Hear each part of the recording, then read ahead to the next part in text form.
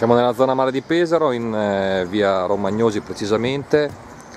e questo è uno dei ponticelli sul eh, torrente Genica, come potete vedere laggiù c'è la zona della Foce, a mare in via Trieste,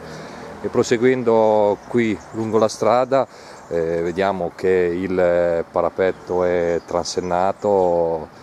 con eh, le barriere del centro operativo, ma andando avanti eh, il parapetto è del tutto crollato, si è staccato dalla base,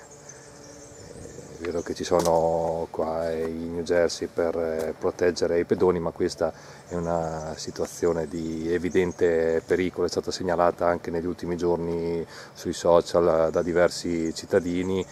ed è una situazione da sistemare al più presto anche perché da quell'angolo si riesce ad accedere facilmente al punto in cui